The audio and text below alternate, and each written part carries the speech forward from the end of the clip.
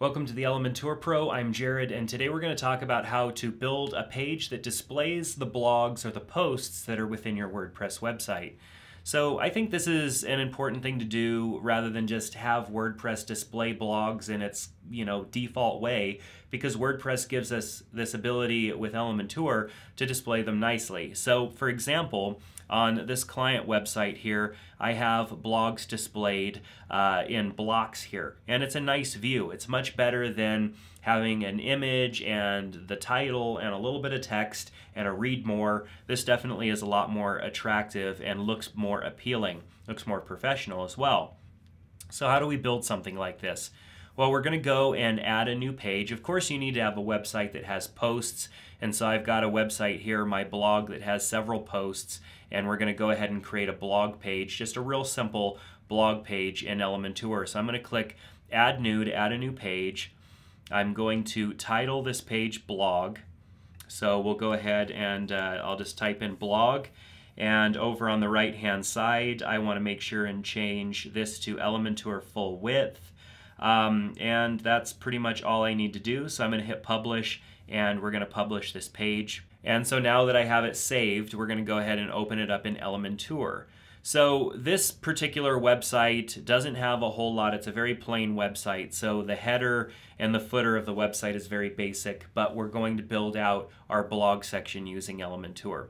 So we're going to need a section, uh, and we're going to add that section. I'm going to add a heading to it, and we'll call this Jerad's blog and we'll go ahead and center it and uh, I might want to give it a little bit of padding. If you if you needed a little bit of padding from the top of your website, you might want to add that, but it seems to have a decent amount of padding already, so I'm not going to go ahead and, and add that.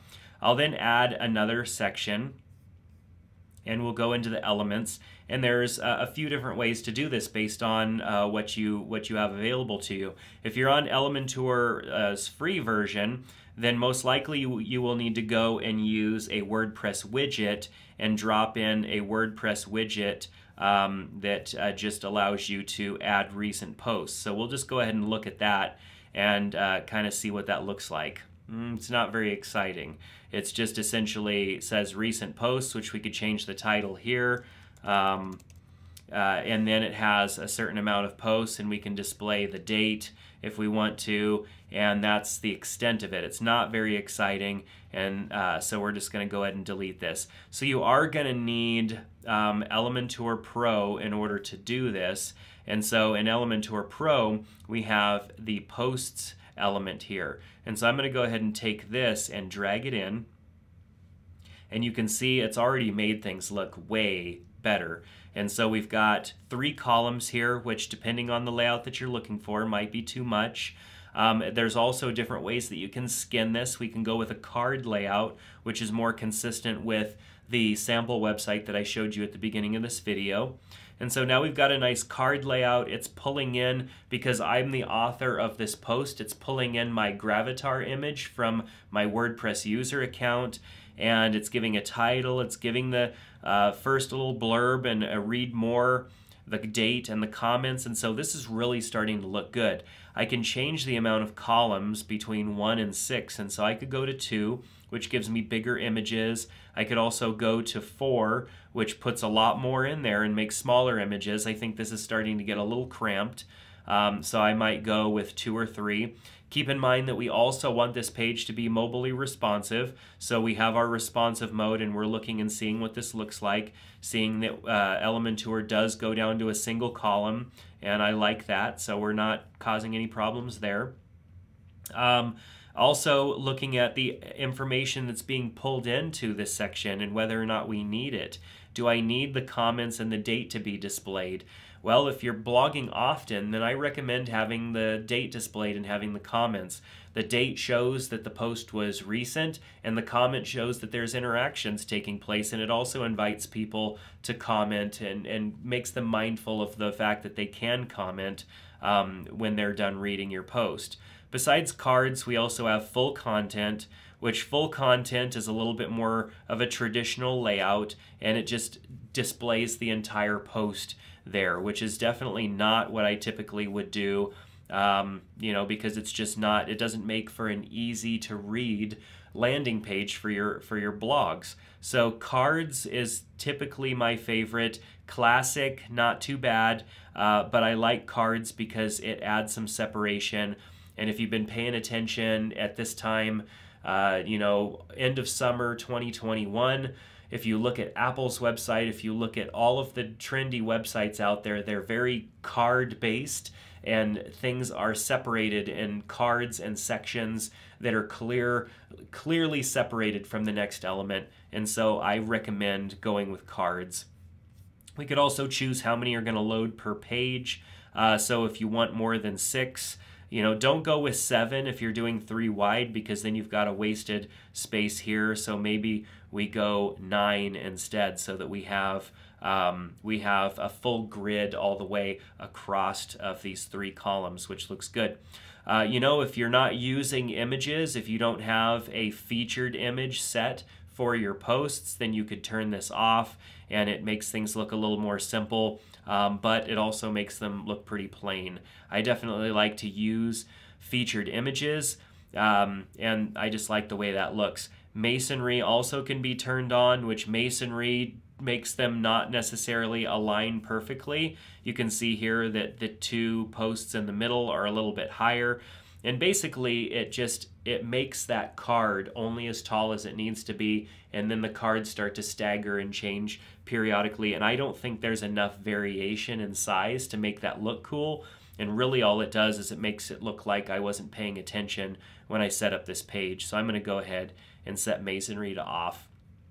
If you are in a smaller column size like this uh, with three columns, the image size being 640 by 640 is probably way too large. If you have a smaller image size here available, you might consider choosing a smaller image size. But because of how those images were uploaded at the time, WordPress created the smallest image size as 640. I would prefer an image size of like 300 for here, so that way I'm not creating a page that's going to take a lot of time to load.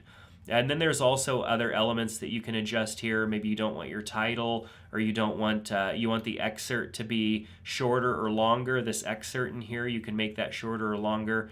Um, if you don't want the read more link there, you want to change what it says from read more to something else, you can do that. You can have your blogs open in a new window instead of navigating away from this page. However, it's there's there's still people are out still on whether or not opening things in a new tab or opening them in the current tab affects SEO. I don't know if it does or not, um, but I don't like to have somebody with like 20 tabs open because they were using my website. They can use the back button like an adult, um, and you know that's just the best way to do it. I only open things in a new tab when I'm navigating somebody away from something uh, outside of my website. I want them to be able to get back to my website uh, when they close that tab. So that's just a best practice there. And then um, badge taxonomy, you can either use categories or tags, and that is the badge that shows up up here. And these are the categories that I have. So Notion, blog, newsletter, um, personal development, family. Those are uh, those are different categories that I have on my website, and so those are showing, and I could turn those badges off if you know they don't make sense for you. The avatar being your little image that shows up there, you can turn that on and off. That is something that pulls in from your your account, your WordPress account on this website. And so if you need to customize that, you have to upload an image to Gravatar using the same email address that you uh, log into on WordPress if you can't get that to work, then there are plugins that you can install that allow you to upload a, a default image, uh, but I think that's a bit much to just accomplish that little task. We also have style adjustments here. We can set the column gap, the row, uh, we can adjust things on the card, such as the background color, border radius, all of that stuff. We can customize the look of the card, which is really cool. I won't go into deep detail there because you could just come in here and change things and see what it does and uh, and and make it look the way that you want it to look. So you can also change uh, things with the image here. We have a small image section that allows for spacing changes. And then we also have the overall card and what happens in its normal view and then what happens when you mouse over it. So for example, uh, normal and hover, there really isn't much you can change here except going in and adding some CSS filters such as blur, brightness, contrast, saturation, changing the hue, things that make it noticeable. I think the default is fine. It brightens it up just a little bit to let you know that you've moused over it.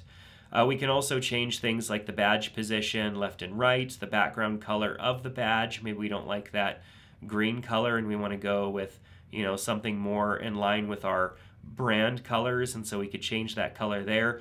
We could change the text color if for some reason uh, when we change the background color of the um, uh, of the card, the text is not appearing uh, well. We can change that.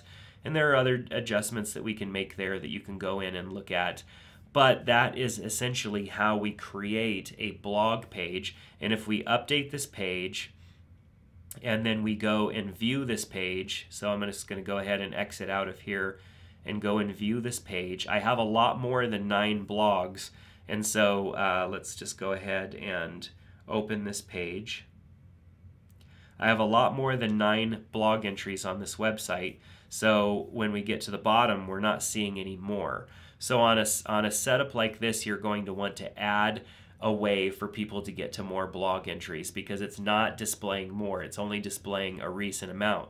And you can see on this particular website, I have a certain amount of blog entries, and then I also down at the bottom have uh, pagination enabled so that I can go and view the next nine or six or 12 blog entries or whatever uh, amount of entries. And so you'd want to make sure that that is uh, something that you have enabled so that people can get to more. So down here, you can of course come in and enable pagination. I have it set to none, but I can go and add numbers, I can do load on click, I could do infinite scroll, and it's gonna change the way that this works uh, which is going to give your users an ability to see more blog entries as they scroll through the page. So this is how you add a blog page to your WordPress website using Elementor. Definitely makes for a much better experience than the traditional WordPress category archive, so I highly recommend it. Uh, definitely subscribe to our channel here. We're putting out three videos on Elementor every week, so subscribe. I've got a link down in the description below to my Elementor course, which will teach you everything that there is to know about Elementor. But that's going to do it for today. Thanks so much, and we'll see you back in the next one. Take care.